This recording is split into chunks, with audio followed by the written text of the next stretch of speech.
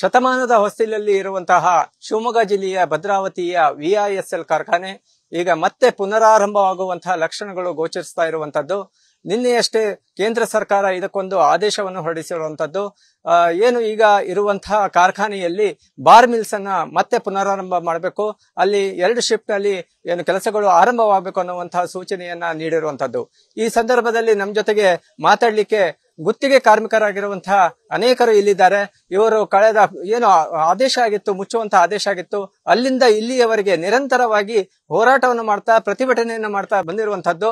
ಈಗ ಅವ್ರ ಜೊತೆಗೆ ನಾವು ಮಾತನಾಡೋಣ ಅವರ ಪ್ರತಿಕ್ರಿಯೆಗಳು ಹೇಗಿದೆ ಅಂತ ಹೇಳಿ. ಸರ್ ನಮಸ್ಕಾರ. ಈಗ ಆದೇಶವನ್ನ ಮತ್ತು ಪುನರ್ಶ ಪರಿಶೀಲನೆ ಮಾಡಿದ್ದಾರೆ. ಕೇಂದ್ರ ಸರ್ಕಾರ ಹೇಳಿದೆ, ಬಾರ್ ಮಿಲ್ಸ್ ಅನ್ನ ಮತ್ತೆ ವಾಪರ್ ಮಾಡಬೇಕು. ಮುಂದಿನ ದಿನಗಳಲ್ಲಿ ಇದಕ್ಕೆ ನಾವು ಏನು ಅಗತ್ಯ ಬಂಡವಾಳ ಬೇಕೋ ಅದನ್ನು ಕೊಡ್ತೀವಿ ಅಂತ ಹೇಳಿ. ಈಗ ನೀವು ಹೋರಾಟವನ್ನ ಮಾಡ್ತಾ ಬಂದಂತವ್ರು ಸುಮಾರು ನೂರ ಎಪ್ಪತ್ತೈದು ದಿನಗಳಿಂದ ಈ ಹೋರಾಟಗಳು ನಡೀತಾ ಇದೆ. ಸೊ ಈಗ ಏನು ನಿಮ್ಮ ನಿರ್ಧಾರ? ನಮ್ಮ ನಿರ್ಧಾರ ಏನು ಅಂದ್ರೆ ಸರ್, ಈಗ ಮುಚ್ಚೋಗುವಂತ ಕಂಪ್ನಿನ ಮತ್ತೆ ರಿಓಪನ್ ಮಾಡಿದರೆ ಅದಕ್ಕೆ ಕೃತಜ್ಞತೆ ಸಲ್ಲಿಸ್ತೀವಿ. ಆದ್ರೆ ಇದು ಸಾಕಾಗಲ್ಲ. ನಮಗೆ ಶಾಶ್ವತ ಪರಿಹಾರ ಬೇಕು. ಈ ಕಾರ್ಖಾನೆಗೆ ಅಗತ್ಯ ಇರತಕ್ಕಂಥ ಬಂಡವಾಳ ಹೂಡಬೇಕು. ಬಂಡವಾಳ ಹೂಡಿ ಪುನಃ ನಮ್ಮ ಗುತ್ತಿಗೆ ಕಾರ್ಮಿಕರು ಸಾವಿರದ ನಾನೂರು ಜನ ಗುತ್ತಿಗೆ ಕಾರ್ಮಿಕರಿಗೆ ಪೂರ್ಣ ಪ್ರಮಾಣದಲ್ಲಿ ಕೆಲಸ ಸಿಗುವಂತದ್ದಾಗಬೇಕು ಅನ್ನೋದೊಂದು ಉದ್ದೇಶ ಬಿಟ್ರೆ ನಮ್ದು ಬೇರೆ ಉದ್ದೇಶ ಏನೂ ಇಲ್ಲ ಸರ್. ಈಗ ಏನು ನೂರ ತೊಂಬತ್ತು ದಿನಗಳಿಂದ ನೀವು ಏನು ಮಾಡ್ತಾ ಬಂದಿದ್ದೀರಾ? ಹೋರಾಟ ಮಾಡ್ತಾ ಬಂದಿದ್ದೀರಾ?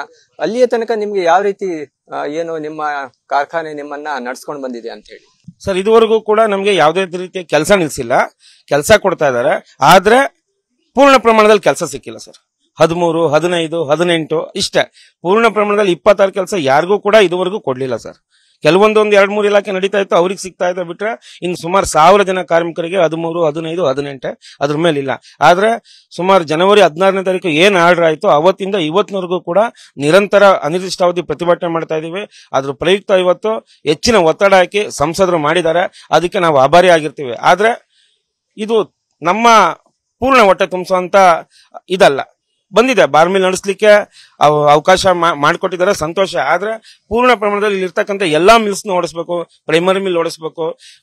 ಪುನಃ ಒಂದು ಸಾವಿರದಿಂದ ಸಾವಿರದ ಇನ್ನೂರು ಕೋಟಿ ಬಂಡವಾಳ ಹಾಕಿ ಬ್ಲಾಸ್ಟ್ ಫರ್ನೆಸ್ ಆಗಿರೋದು ಅಥವಾ ಎಸ್ ಎಂ ಎಸ್ ಆಗಿರೋದು ರೀಓಪನ್ ಆದ್ರೆ ಮಾತ್ರ ನಮಗೆ ಬದುಕು ಒಳ್ಳೆ ರೂಪದಲ್ಲಿ ಕಟ್ಕೊಳ್ಳಿಕ್ ಸಾಧ್ಯ ಇದೆ. ಇದು ಗುತ್ತಿಗೆ ಕಾರ್ಮಿಕರ ಪ್ರಧಾನ ಕಾರ್ಯದರ್ಶಿ ಆಗಿರುವಂತಹ ರಾಕೇಶ್ ಅವರ ಮಾತು.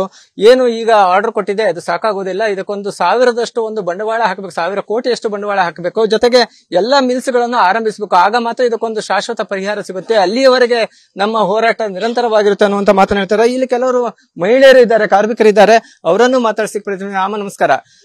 ಈಗ ನಿಮ್ಮ ಮುಚ್ಚುವ ಹಂತದಲ್ಲಿದ್ದಂತಹ ಏನು ಸರ್ಕಾರ ಇತ್ತು ಅದನ್ನ ಈಗ ವಾಪಸ್ ಈಗ ರಿವೀಲ್ ಮಾಡ್ತಾ ಇದ್ದಾರೆ.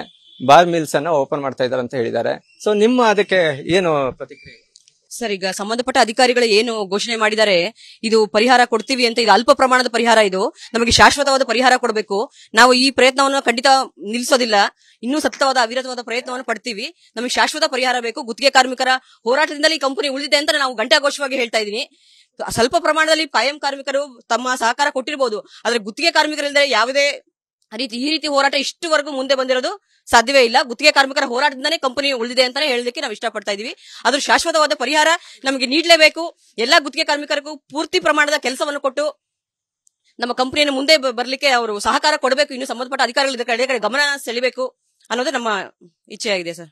ಈಗ ಒಂದು ಪಾರ್ಶಲಿ ಸ್ಟಾರ್ಟ್ ಆಗ್ತಾ ಇದೆ. ನಿಮ್ಮನ್ನ ಅವರನ್ನು ಮನವೊಲಿಸಲಿಕ್ಕೆ ಬಂದ್ರೆ ನಿಮ್ಮ ಸಂಘಟನೆಯವರು ಏನ್ ಮಾಡ್ತಾರೋ ಅದ್ರ ಮೇಲೆ ನೀವು ನಿರ್ಧಾರ ಆಗ್ತೀರೋ ಅಥವಾ ನೀವು ಕೆಲಸಕ್ಕೆ ಹೋಗ್ತೀರಾ? ಸರ್ ಮನವೊಲಿಸುವಂತ ಕಾರ್ಯಕ್ರಮಕ್ಕೆ ನಾವು ಯಾವುದಕ್ಕೂ ಮಣೆ ಹಾಕೋದಿಲ್ಲ.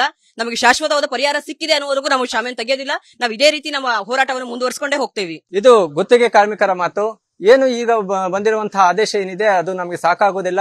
ಇದನ್ನ ಒಂದು ಸಂಪೂರ್ಣವಾಗಿ ಆರಂಭಿಸಬೇಕು, ಪುನರಾರಂಭಿಸಬೇಕು, ಎಲ್ಲ ಮಿಲ್ಗಳು ಓಪನ್ ಆಗಬೇಕು. ಅಲ್ಲಿವರೆಗೆ ನಮ್ಮ ಹೋರಾಟ ನಿರಂತರವಾಗಿರುತ್ತೆ. ನಮ್ಮ ಒಗ್ಗಟ್ಟನ್ನ ಯಾರು ಒಡೆಯಲಿಕ್ಕೆ ಸಾಧ್ಯವಿಲ್ಲ ಅನ್ನುವಂತ ಮಾತನ್ನ ಹೇಳ್ತಾ ಇದ್ದಾರೆ. ಕ್ಯಾಮ್ರಾಮನ್ ಸಾವನ್ ಜೊತೆ ವಿವೇಕ್ ಮಹಾಲೆ ವಿಸ್ತಾರ ನ್ಯೂಸ್ ಶಿವಮೊಗ್ಗ.